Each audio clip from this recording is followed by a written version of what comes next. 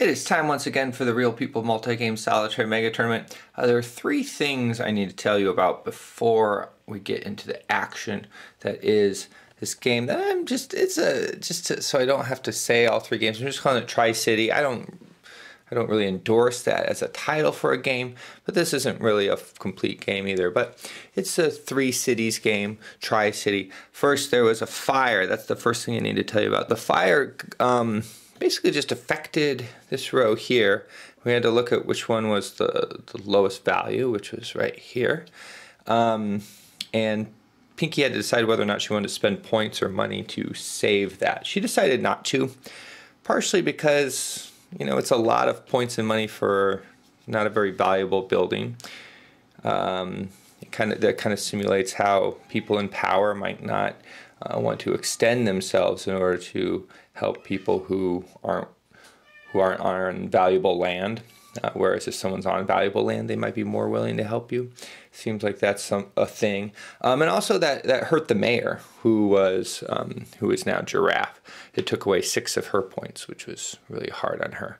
So that was the first thing. Second thing is I forgot to have an actual effect to this, which is the whole reason I'm doing this thing in the first place. Um, the the actual way the vote shook out kind of followed the effect anyway. Like it was these people who got the money, uh, and so I didn't think it was that necessary to do anything that powerful. But they did get um, a new industry in a slum area, and what I decided was the deal was that the um, our our our town players here. Oops, sorry, Desi. Um, would get you know a nice little business right there. And so they have a little uh, industry that they were just given by the the higher up business community the capitalists out there. And that that was that helped the city get better because they didn't have riots. So they kind of bought them off with having here here's a little tiny factory that you can you can sew sweaters in or knit sweaters. Um, so that's that. Oh, and the third thing is, I think I've been doing this wrong, in that I think these fellows need a lot more turns for this to be a, for them to be able to do anything in the game. They've only had like three turns or so, and it it makes more sense too in what's what's happening on the map, right? Because all these buildings are springing up. That's going to take a while for buildings to spring up. Meanwhile, these these fellows just get to go down the street and stop and maybe pay for something, go shopping. Um, so I think what I'm going to do is after each one of their turns, all of these people, um, except for the people in the back, Vaughn and Sunny, are going to get a turn. So they get to cycle through their turn every time, and I think that's going to kind of have a better rhythm. Um, it's gonna it's gonna probably hurt our urban sprawl people because they will lose money faster. But you know, people should. I don't know why you would ever want to pay rent in this game.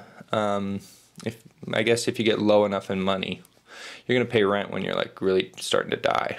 So in uh, the regular game Our Town, you when you pass the bank, which is the go of this this uh, variant Monopoly variant, um, you get your salary.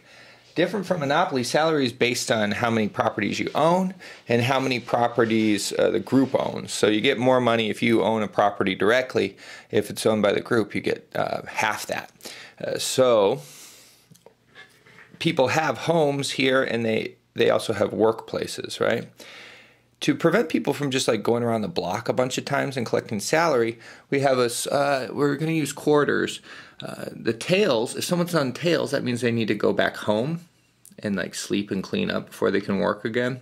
If they're on heads, it means they haven't worked yet, so they can they're still eligible to go to work.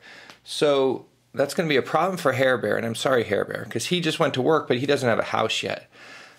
However, he can use the money he got from working to help buy a house, and so that's that's good for him. Or rent a house. I mean, you don't have to buy a house; you can rent too. Smudge sold a newspaper to Banana. I think he was. She's been his customer maybe twice now.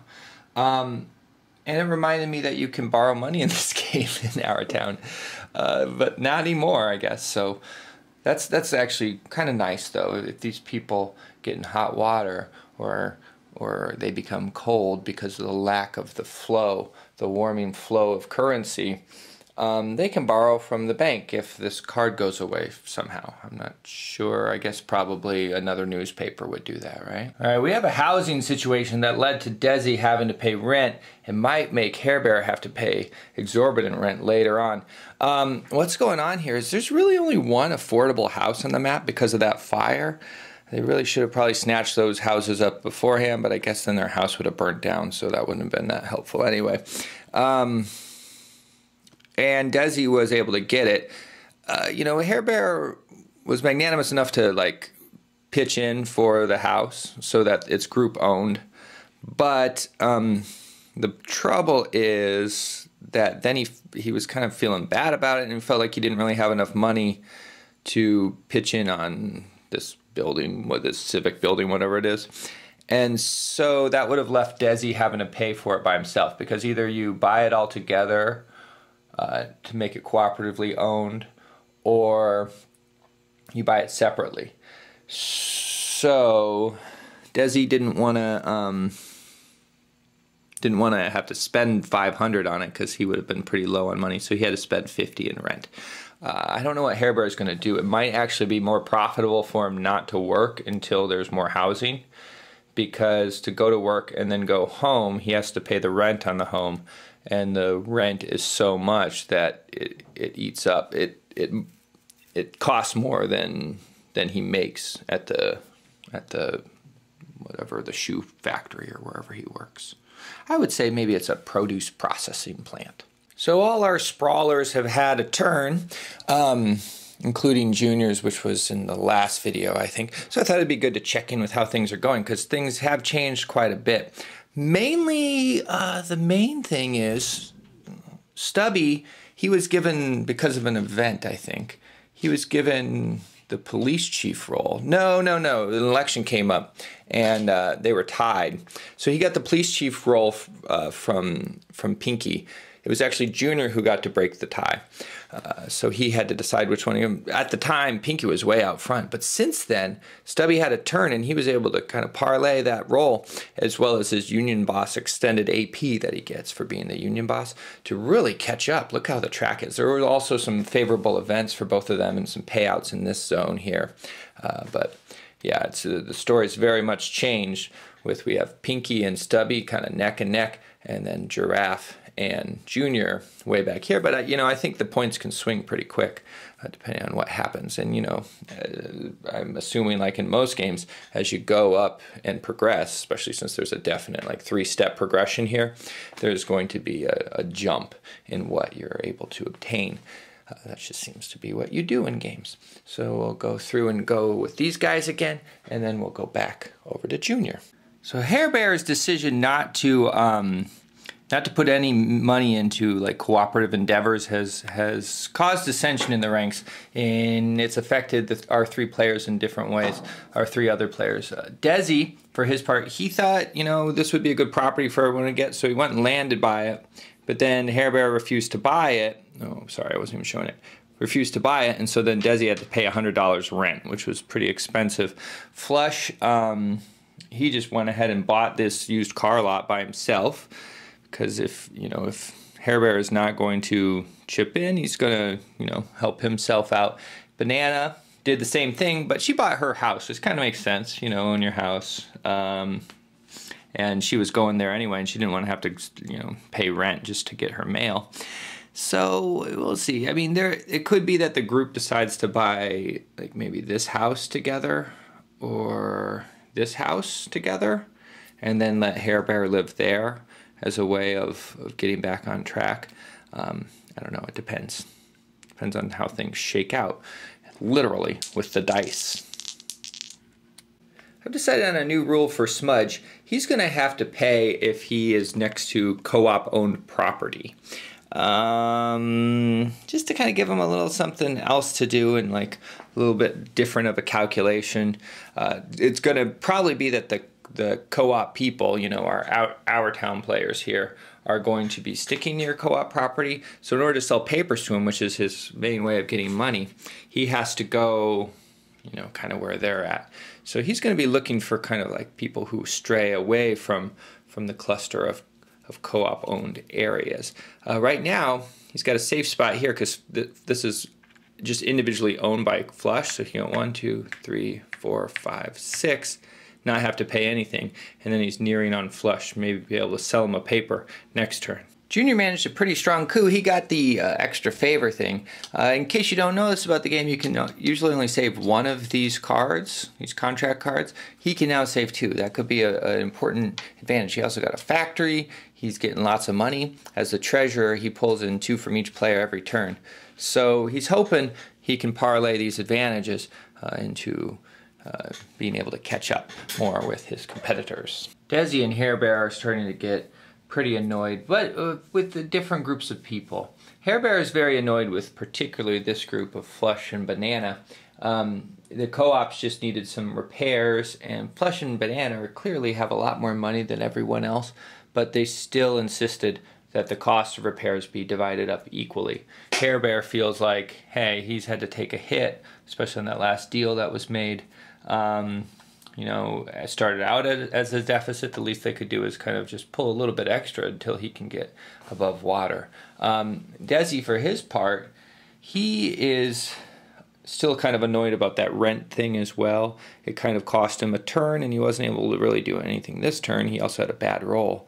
Uh, so he's a little bit annoyed with Hair Bear for that, and also annoyed with Flush and Banana for pretty much the same reason. Pinky used the municipal court to get a hold of the union boss uh, job. She was really tired of not having a job. She's not going to be able to keep it for long. Well, at least till, it'll take until the, the track goes around again um, because she has no industrial buildings. But she intends to really make use of those two extra AP every turn in the meantime. This crime wave has really helped Stubby. He is now in the lead because he got so great because of the crime that, and he's the police chief. Uh, they had to give him so much prestige and respect because the crime wave. All right, our group has come up with, uh, our group of Our Town players has come up with a, a, solution to the whole Hair Bear needs a place to live problem. He had a perfect roll to get to this, this building right here. They had 200 in their collective pot. It was 1100 cost for the, for the house but they split it up. Um, Hair Bear did have to pay a little extra, and uh, hundred dollars more than everyone else, and that that still kind of sticks in his craw. But at least he has a place to live, and it kind of helps that the mail that he got when he got there gave him hundred fifty dollars for some reason because the their cooperative work has been so good. All right, our next test card for our cities game has come out. Uh, this is the city deck one. So Let's see what the issue is going to be. Business boycott. Agitators picket stores demanding immediate end to job discrimination. Business asks government for police protection. See, it's weird. These are like kind of maps as to how these people are supposed to react. I almost don't need the people. I could play them that way. I kind of thought of them as effects. I think some of them are more effect-like. Government proposes new laws to prevent more forceful riot control measures. So that's like an effect that they would vote on and then see what would happen. But instead, we have this thing, which kind of already is saying what the agitators are doing. I think I'm going to discard that one and hope to find a different one that's going to work better with what we're doing here. Garbage. Some dweller, slum dwellers demand twice a week garbage pickup to ease street pollution. Agitators throw garbage at police cruisers. Business wants city garbage collection services turned over to private enterprises. Okay, so that's not like even a single thing they're voting on. What are they voting on there? Uh, it's just saying different positions. Um, I think we can maybe work with this one though. We have to do it anyway. So the the kind of hardwired rewards or what would happen is it's good for business and the slum, slum dwellers, less good for the agitators and the government. Because remember, their money is going to be compared at the end to see who wins. And yeah, the next one, the slum dwellers get a big payout. So that so this one's kind of middle-ish, but I would think that the agitators and the government would want to get a little bit of a kickback in order to vote for this, especially considering how much money everyone has. Okay, I'm going to go into negotiations. You know the you know the issue at hand and it's garbage. What to do about garbage? All right, I set up these action figures so you can see just what people are thinking um, before they've actually negotiated. So no one's offered anyone a payout right now. Um, so basically, what if they're sitting down? That means they want to vote against it, meaning they want to put no points in. If they're standing up, they want to vote for it. If they have their arms up, they want to do some sort of um, police action or agitation. So if you see here, Sonny wants to vote for it, but he wants to have um, he wants to do some some agitation. Uh, Flush doesn't want to vote for it, and he wants some agitation. And Banana wants to vote for it, but she doesn't want any agitation. Here we see that the agitators don't like it, and they want to agitate. Um, there's a mixture here, and this is kind of the real interesting thing because they they all have an equal vote in the business community, with Dancing Bear as possibly the tiebreaker. But uh, in the political realm, for government, they have different amounts of votes. So Junior has one vote, Pinky has one vote, Giraffe has two, and um, oh no, and and he fell over. I, I really like that guy for Stubby, but he keeps falling over. So I'm gonna see if they're gonna exchange any money, and then see if the votes change. Okay, so it changed only a little bit. I had to kind of rule, you're supposed to use a timer for the negotiations and it's supposed to be done in real time. I can't really do that. So I kind of just felt out whether it, you know, how the, long the conversations took me for each person um, or each pair and just kind of how it all work out. Um, the only real differences, I think, well, like, so Dancing Bear, she wanted to talk to Chinky. Uh, Chinky wanted a lot of money in order to vote for this and so she just was not going to do it because um, then she figured that the the the way to do it because she knew how these guys were going to vote was to talk to them. So then she talked to Giraffe and tried to get uh, to buy off Giraffe, but Giraffe didn't figure she needed money that much.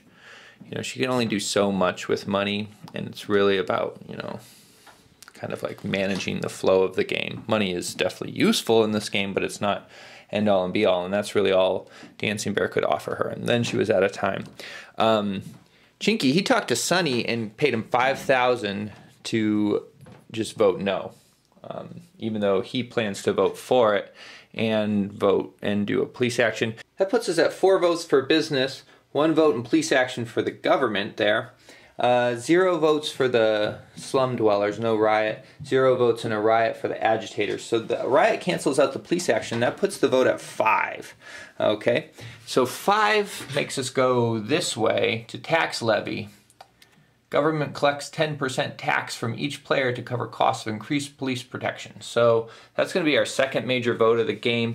Um, after we do 10, the game's over. I should probably mark that because I'll forget. All right, I think as a quick and dirty way to deal with this, um, there's not going to be twice a week garbage collection. There are going to be, um, there is going to be garbage thrown at police um, cruisers. And the slum dwellers locations are going to be impacted. So I'm just going to take these off. I'm not sure how else to make it seem like there's more garbage in the city. So these residential zones, which are actually we're actually probably the upscale part of the city. Um, that's where the quote slum dwellers lived. They're no longer as posh, and so now I guess they're more slummy. Um, and I don't think there are private garbage collections either. Okay, so we'll continue next time on the Real People Multi-Game Solitaire Mega Tournament. I put that uh, sports team card in the bottom half of this deck, so it will come up again. Um, who knows when? We'll find out later.